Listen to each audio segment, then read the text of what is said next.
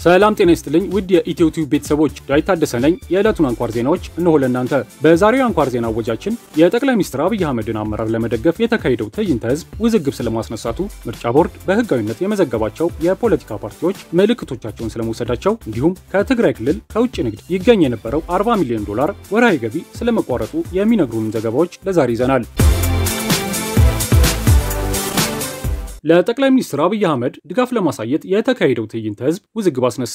ዛሬ ጥር 25 ቀን 2013 ዓ.ም በኦሮሚያ ብሔራዊ ክልላዊ መንግስት ወሰን ውስጥ በሚገኙ አንዳንድ ከተሞችና ወረዳዎች ለጠቅላይ ሚኒስትር አብይ አህመድ አመራር ድጋፍ የሚያሳዩ ሰላማዊ ሰልፎች ተካሂደዋል። በኦቢኤን የቴሌቪዥን ጣቢያ የቀጥታ ስርጭት ሽፋን ከተሰጣቸው የክልሉ ከተሞች መካከል ሻሸመኔ፣ ጅማ፣ አዳማ፣ አሰላ፣ ዶዶላ፣ ዱከም፣ ሰበታ፣ ገላን፣ በደሌ፣ ባሌሮቤ፣ ሰንዳፋ፣ የአቤሎና ቡራዩ ይገኙበታል። በምስራቅና ምዕራብ ወለጋ በሚገኙ ወረዳዎች ላይም የድጋፍ ሰልፎች ተካሂደዋል። ይህን ተከትሎ ጠቅላይ ሚኒስትር አብይ አህመድ በፌስቡክ ገጻቸው ላይ ስለተደረገላቸው የአጋርነት ትዕይንተ ህዝብ ምስጋና አቅርበዋል። ጠቅላይ ሚኒስትሩ ጽሑፍ ባስተላለፉት መልእክት የመንግስት ልዩ ተልዕኮ ህዝብን ማገልገል ብቻ ነው። በየደረጃው ያለን የህዝብ አገልጋዮች እንደዚህ አይነት ድጋፍ የምንማሩና መገንዘብ ያለብን ኃላፊነታችንን በአግባቡ እንድንወጣ የህዝብ ጥሪና አደራ እንዳለብን ሊሆን ይገባል ሲሉ ገልጸዋል። የድጋፍ ሰልፉ ነገ ቀጥሎ እንደሚካሄድ የኦሮሚያ ክልል ኮሚኒኬሽን ቢሮ አስታውቋል። ድጋፋቸውን ለጠቅላይ ሚኒስትሩ ለማሳየት አደባባይ የወጡት ሰልፈኞች የተለያዩ መፈክሮች ይዘው የታዩ ሲሆን ተቃውሞ የተነሳባቸው የጽሑፍ መልእክቶችም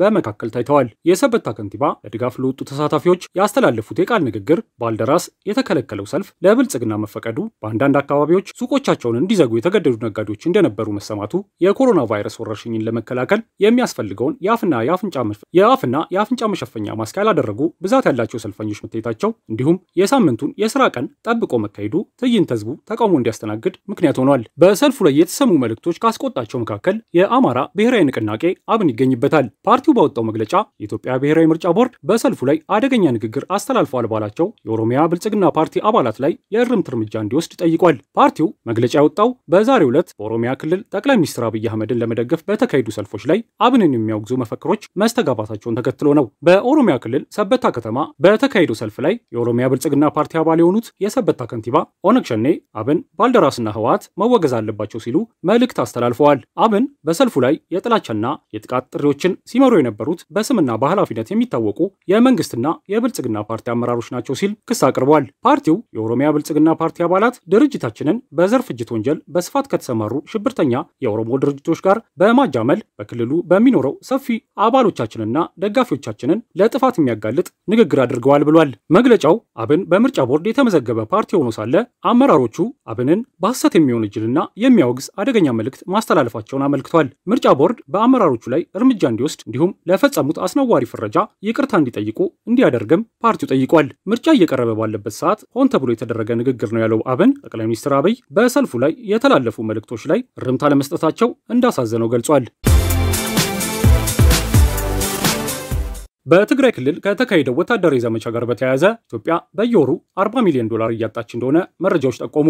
በትግራይ ክልል ከተካሄደው የሕግ ማስከበር ዘመቻ ጋር በተያያዘ ከውጭ ንግድ ይገኝ የነበረው ወርሃዊ 40 ሚሊዮን ዶላር ገቢ መቋረጡን ከንግድና ኢንዱስትሪ ሚኒስቴር የተገኘ መረጃ አመለከተ። በክልሉ ለውጭ ገበያ ከሚቀርቡት ከሰሊጥ ከወርቅና ከጥጥ ምርቶች ይገኝ የነበረው የ40 ሚሊዮን ዶላር ወርሃዊ ገቢ ወታደራዊ ዘመቻውን ተከትሎ ሙሉ ለሙሉ እንደቆመ ከመረጃው ጋር የወጣው ጥቆማ ያሳያል። በትግራይ ክልል ከጥቅምት ወር 2013 ዓ ም መጨረሻ ወዲህ ባለው ጊዜ የኢንቨስትመንት ዘርፉ ከ50 እስከ 90 በመቶ የሚደርስ ጉዳት አስተናግዷል። በኢትዮጵያ በተለያዩ ጊዜያት በተፈጠሩ ግጭቶች የኢንቨስትመንት ዘርፉ ላይ ከፍተኛ ጉዳት መቅጠሙንና ከደረሰው ጉዳት መካከል መልሶ ማቋቋም የሚቻለው አንድ በመቶ ያህሉን ብቻ እንደሆነ የኢንቨስትመንት ኮሚሽን ኮሚሽነር ሌሊሳ ነሜ ከዚህ ቀደም መናገራቸው ይታወሳል። በትግራይ ክልል ከውጭ ንግዱ ከሚገኘው 40 ሚሊዮን ዶላር በተጨማሪ ቱሪዝምን ከመሰሉ ሌሎች ዘርፎች የሚታጣው የውጭ ምንዛሬም የጉዳቱን መጠን ከፍ እንደሚያደርገው ይገመታል። መንግስት ለትግራይ መልሶ መቋቋም የሚያወጣው ወጪ የቀሪዎች ክልሎች በጀት ሊሸራርፍ እንደሚችል ከስሌት መግባቱ ደግሞ በተዘዋዋሪ አገሪቱ ላይ ጫና ይፈጥራሉ የሚል በርካቶች ናቸው። ከሁለት ወራት በላይ ዝግ ሆኖ የቆየው የትግራይ ክልል አሁን በከፊል መከፈቱ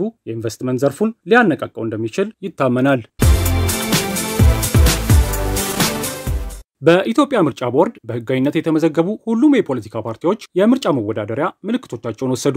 የኢትዮጵያ ብሔራዊ ምርጫ ቦርድ ስተኛው አገር አቀፍ ምርጫን ለማከናወን በጊዜ ሰሌዳው ላይ ካስቀመጣቸው ተግባራት መካከል አንዱ የሆነው የፖለቲካ ፓርቲዎች የምርጫ ምልክቶቻቸውን የሚመርጡበት መርሃ ግብር ተጠናቋል። በዚህም ቦርዱ በሕጋዊነት የመዘገባቸው ሁሉም የፖለቲካ ፓርቲዎች የምርጫ መወዳደሪያ ምልክቶቻቸውን የመረጡ ሲሆን ብሔራዊ ምርጫ ቦርድም አጽድቆ ወደ ቀጣዩ ተግባር ተሻግሯል። የምርጫ ምልክቶቻቸውን ከወሰዱ የፖለቲካ ፓርቲዎች መካከል ኢዜማ ሚዛን አብን ሰዓት፣ ብልጽግና ብርሃናማ አምፑል፣ መኢአድ የድል ምልክት የሚያሳየውን ሁለት ጣት፣ ኦነግን ጨምሮ አራት ፓርቲዎችን ያቀፈው ትብብር ለህብረ ብሔራዊ ዲሞክራሲያዊ ፌዴራሊዝም በእርጩማን ወስደዋል። መድረክ በበኩሉ የእጅ መዳፍ ምልክትን ሲመርጥ የትግራይ ዴሞክራሲያዊ ፓርቲ ሻማ፣ ባልደራስ የተጨበጠ እጅ እንዲሁም ኢህአፓ አውራጣት ተቀስሮ የወጣበትን ምልክት ከወሰዱ ፓርቲዎች መካከል ይገኙበታል። በተያያዘ ዜና የህዝብ ተወካዮች ምክር ቤት ዛሬ ባካሄደው መደበኛ ስብሰባ የኢትዮጵያ ብሔራዊ ምርጫ ቦርድ የምርጫ የፖለቲካ ፓርቲ ምዝገባና የምርጫ ስነ ምግባር አዋጅ ቁጥር 1162 ህዝባር 2011 አንቀጽ 31 ህዝባር 3 ላይ ማሻሻያ አድርጓል። በዚህም በቀጣይ የሚካሄደውን ጠቅላላ ምርጫ በተመለከተ